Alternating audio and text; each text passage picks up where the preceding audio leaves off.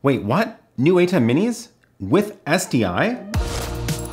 Hi, I'm Aaron Parecki. Blackmagic just announced three new ATEM minis into their lineup, the ATEM SDI, the SDI Pro ISO, and the SDI Extreme ISO.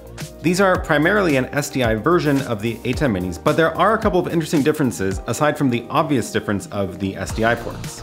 The ATEM SDI base model, priced at 345 is nearly identical to the original ATEM Mini.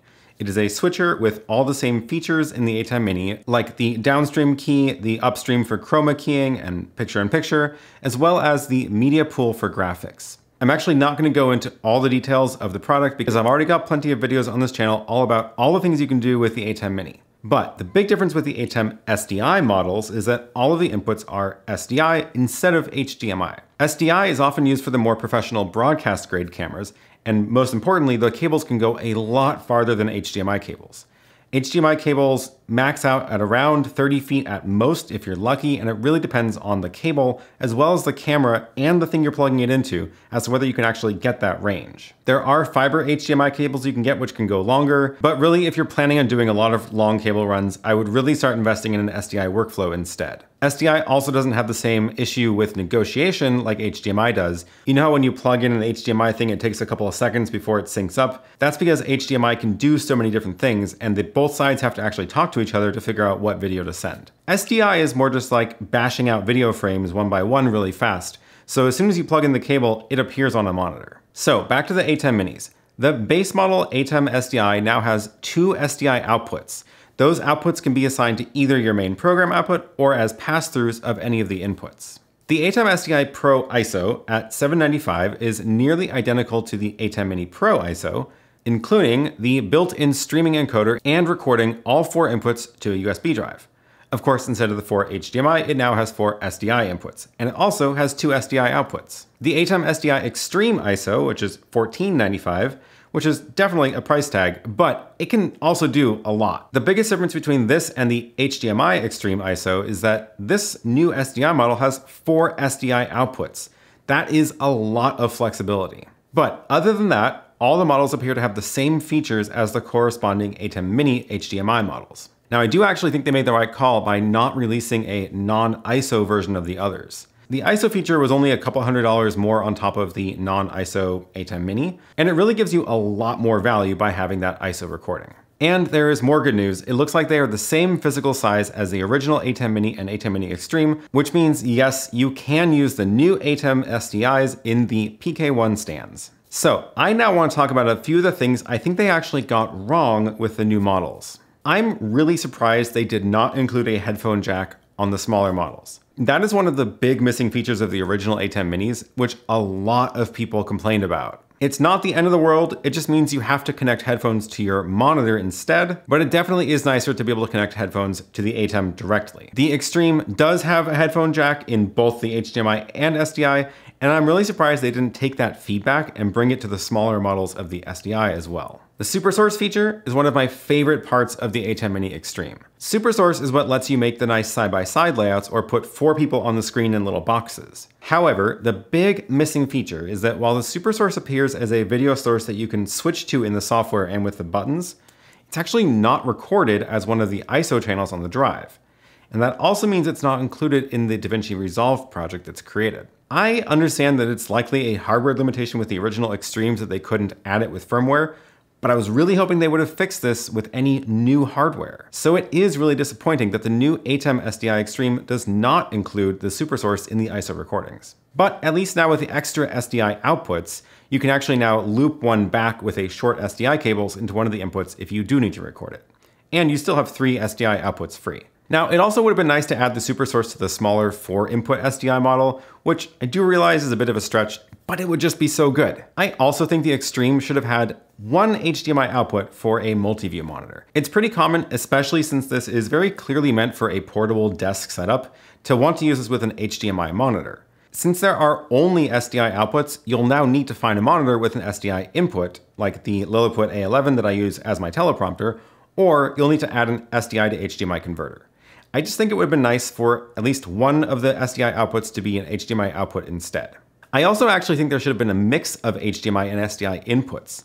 It makes sense that the rack versions of these are all SDI, But again, since this is a desktop form factor, there are a bunch of times it'll make sense to use some HDMI sources, like a laptop or an iPad on your desk. And now you're gonna have to run these through a converter instead. So like I said in my original ATEM wishlist video, I would have liked to see a mix of SDI and HDMI. Maybe three SDI, one HDMI on the smaller ones, and six SDI and two HDMI on the extreme. Remember the TV Studio HD? I used that one for years. It has four HDMI and four SDI. And even half and half was a great mix. I used the SDI for the long cable runs to faraway cameras in the back of the room, or for the long run to the presenter's laptop on stage. And I use the HDMI for local video sources, like a laptop with a slide deck of sponsor logos, or like for an HDMI player with a motion background, or an iPad for video playback. There's just always gonna be a mix of HDMI and SDI sources in a production. So if you have all of one type or the other, you're gonna always need some sort of converter. So maybe if Blackmagic is going to stop making devices with a mix of inputs, they should instead make a new device, which is a multi-SDI HDMI converter. Right now, the bidirectional converters can do HDMI SDI and SDI to HDMI simultaneously, but how cool would it be to have a device with four parallel converters, all in one box? That way you could just easily turn your four SDI inputs into four HDMI inputs or the other way around. It seems doable, the converters are pretty small, and a lot of that is just the case.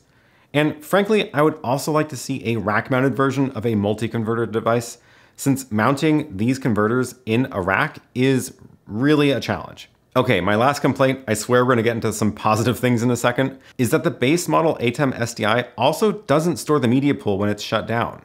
Originally that was true for all of the ATEM minis, but they actually published a firmware update for the Pro and Pro ISO a while back, which made the images stay in the media pool when it's powered off. But for whatever reason, they weren't able to add that feature to the original ATEM Mini. And while that was unfortunate, I can't really blame them because the hardware already shipped and there just wasn't the hardware inside to add the feature. But now, launching a new base model ATEM SDI, it really feels like they missed out on adding that memory to the base model too. I'm guessing the reason it's not there is something like they are actually reusing a bunch of the internal components of the actual base model ATEM Mini and just like swapping out the ports on the back. But it still really feels like a major oversight. But it's not all bad news. I do want to talk about a few things I'm really excited about on the new ATEM SDI models. The ISO models, either the 4 or 8 input, would pair really well with the new Constellation HDs, basically adding the streaming encoder and ISO recording feature to the larger ATEMs. The Constellation 2ME has 12 SDI outputs, so you could easily run four of those into the ATEM SDI Pro ISO and record four of your Constellation sources in parallel. And at 795, it's still the cheapest way to get a four channel H.264 recorder. Not to mention all the other things it can do too. And the Constellation 4ME has 24 SDI outputs, so you could easily dedicate eight of those to run into the SDI Extreme ISO, and that way you get a dedicated 8-channel SDI recorder. Personally, I'm probably going to add one of these to my studio since I am in the process of switching everything over to the new Constellation 4ME. And while the 4ME is a massively powerful switcher, the big thing I'm losing there with that instead of the Extreme ISO like I've been using is the ability to record multiple sources at the same time. So the new SDI Pro ISO or Extreme ISO seems like a really great way to add that back without adding a whole mess of SDI HDMI converters again. Another really nice addition is the extra SDI outputs. The additional SDI outputs are going to be super useful for a bunch of things.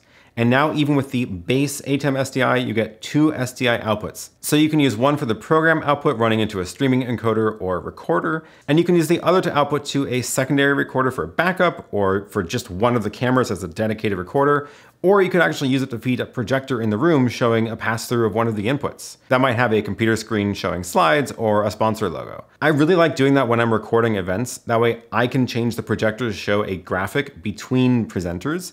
Otherwise, you have the whole awkward projector thing where they unplug the computer and the screen turns blue and it just looks messy. So adding that extra SDI output means you can really add a lot of polish to that. And that was one of the first things in the wishlist I made before the ATEM Mini Extreme came out. So I'm really glad to see that the two SDI outputs on even the base model. And one quick note about the new base model ATEM SDI, I did ask Blackmagic to confirm that both SDI outputs are assignable, and it turns out the answer is yes. So both SDI outputs can be set to either one of the camera inputs or your program output. And of course, with the SDI Pro ISO, that can also be a multi-view. All right, that is it. These are my initial thoughts on the new ATEM SDIs. Will I be buying one?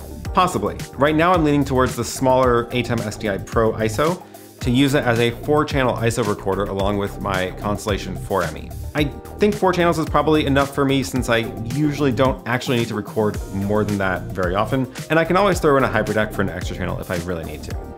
So give this video a thumbs up if you enjoyed it and subscribe and join my weekly live streams on Sundays.